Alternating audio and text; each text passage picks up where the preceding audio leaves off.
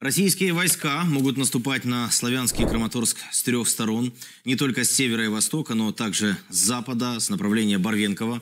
Такие выводы сделал Институт по изучению войны. Аналитики также отмечают, что армия России накануне проводила э, ограниченные попытки наступления и наносила воздушные, артиллерийские и ракетные удары по всей линии фронта. По мнению экспертов, россияне восстанавливают силы и создают условия для новых существенных наступлений – в ближайшие недели или месяцы. Олег Жданов, военный эксперт, с нами на прямой связи. Олег, здравствуйте. Здравствуйте. Э, согласны ли вы с такими э, прогнозами Института изучения войны? В принципе, да. Они все правильно изложили в том плане, что Российская Федерация будет восстанавливать силы, и для этого понадобится как минимум месяц. Как минимум. А может быть даже и больше. Почему? Потому что свежих готовых э, к боевому применению резервов на сегодняшний день в Российской Федерации нет. Означает вот эта вот э, оперативная пауза что? Что будет, что будет происходить в это время на фронте? Полное затишье или будут какие-то терроризирующие обстрелы, или будут, возможно, удары по городам, как Россия делает уже последнее время? Э, возможно возобновление ракетных ударов как возмещение снижения интенсивности боевых действий, с одной стороны. С другой стороны, они э, не могут оставить нас в покое и, скорее всего, будут на отдельных участках предпринимать штурмовые действия, то есть проводить э, что-то вроде разведки боем. Заодно изучать нашу систему, таким образом изучать нашу систему обороны. Конечно, для России было бы очень выгодно, если бы Беларусь открыла второй фронт. Но, судя по всему, там пока что нет готовности для того, чтобы вступить в эту войну вооруженными силами со стороны, э, со стороны Белоруссии. Ну и главный вопрос, что будем делать мы в, это, в этот же период. Э, у нас тоже необходима перегруппировка войск, тоже необходимо подтягивание резервов но у нас есть, э, появились, точнее, средства дальнего э, огневого воздействия. И мы можем э, наносить огневое поражение в ближайшей глубине обороны противника. Олег, ну также появлялась информация о том, что э, в Беларуси те, скажем, аэродромы военные, которые, которые ранее были в, э, в распоряжении белорусов, теперь там россияне находятся там, увеличилось количество военной техники опять-таки, это такая информация от очевидцев, она также требует подтверждения, но мы понимаем, что э, вот это направление, вы о нем вспомнили, оно потенциально опасное.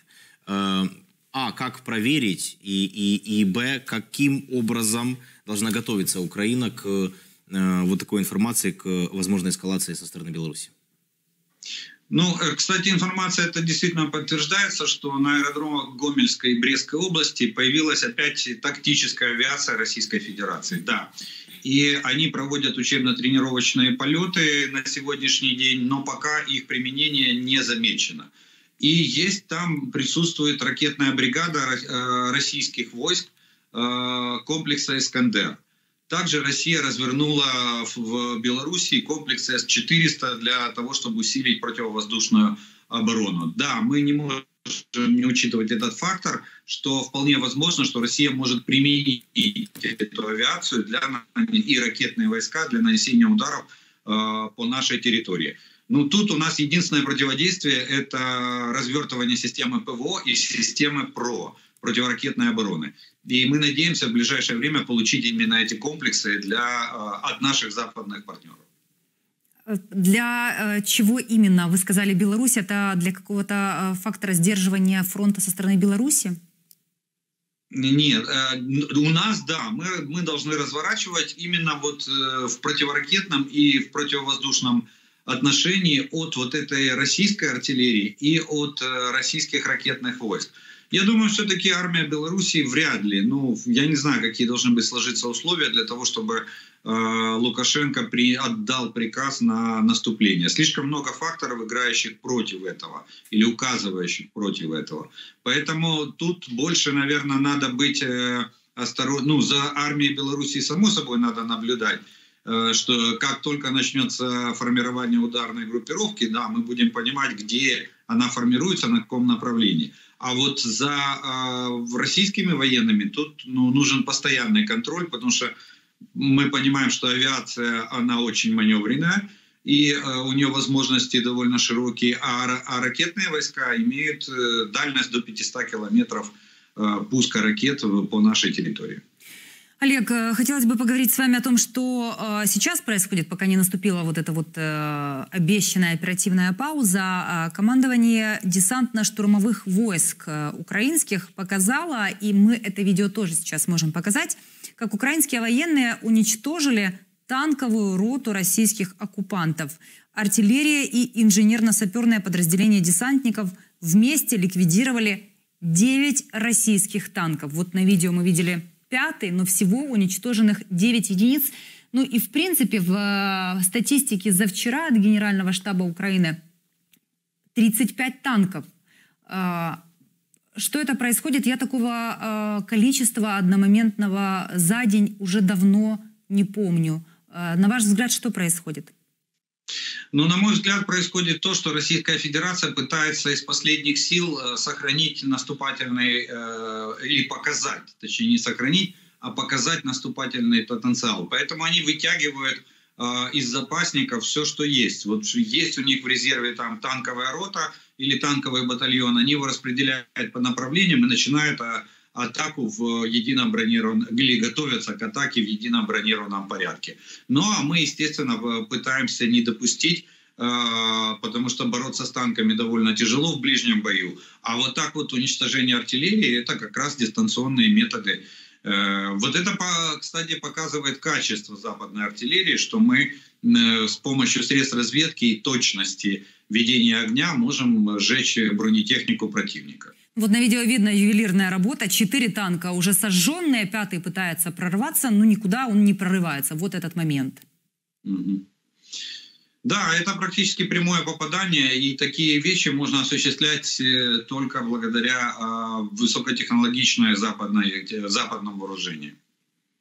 Эм, также вот от разведки мы слышали такие допущения, что, э, по крайней мере, в Донецкой области россияне будут пытаться сохранить какую-то вот такую, знаете, ситуативную паузу для того, чтобы, как они говорят, э, отдохнуть. И мы понимаем, что возобновить свои силы, э, очевидно, привести еще и, и, и личный состав, да, и технику. Но, во-первых, есть ли что вести, и, и, и понимаем ли мы, что это э, может быть?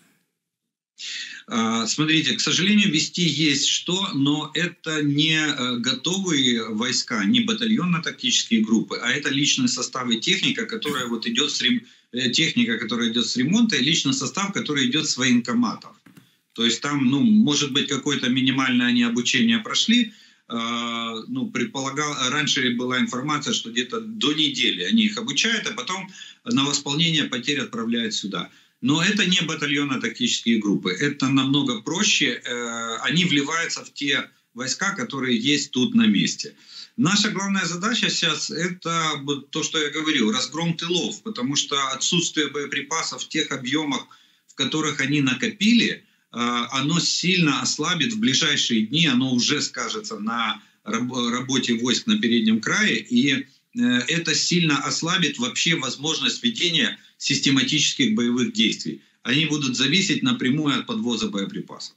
Вот сегодня опять э, взрывы в Новой Каховке. Мы э, о них будем детально говорить. Э, вот эти вот взрывы и на юге, подтверждают ли они возможность контрнаступления украинских войск? Или это опять-таки подготовка, вот это вот уничтожение тыловых запасов? Нет, это, э, на, насчет контрнаступления нет, они не подтверждают, потому что у нас нет пока еще сил для формирования контрнаступательной группировки. Но мы переводим, вот сейчас мы пытаемся перевести войну немножко в другую плоскость, в дистанционную войну. Мы пытаемся за счет разгрома тылов максимально ослабить э, передний край противника. И если у нас это получится, то я скажу, что нам на переднем крае станет намного легче воевать. А вот расскажите, пожалуйста, о том, э, что это означает для россиян потеря вот этих всех складов с боеприпасами, нефтебаз. Э, вот э, в Донецке выгорела нефтебаза. Что теперь означает? Насколько дольше теперь будут заправщики ездить или будут цистернами подвозить к фронту? Что сейчас будет происходить? Ну, это э, будет происходить то что, то, что происходило в первый период войны, когда они вели активное наступление, когда у них войска растянулись на сотни километров, и э, они бросали технику только потому, что кончилось, э, кончили, кончилось топливо. А, ну, сейчас, может быть, они технику бросать не будут, хотя неизвестно, как, э, какой будет характер боевых действий. Вот. Но э, если кончится топливо, танки в бой не пойдут. Если кончатся боеприпасы, танки в бой не пойдут.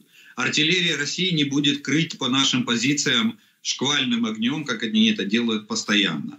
Вот, вот это самое главное, понимаете? И тогда мы э, получаем э, превосходство, огневое превосходство на переднем крае. Наша артиллерия может продолжать вести прицельный огонь по любым позициям э, российских войск в пределах своей досягаемости. Олег, спасибо вам большое за пояснение э, детальнее. Олег да, Жданов, пожалуйста. военный эксперт, с нами был на прямой связи. Э, благодарим вас за ваше время.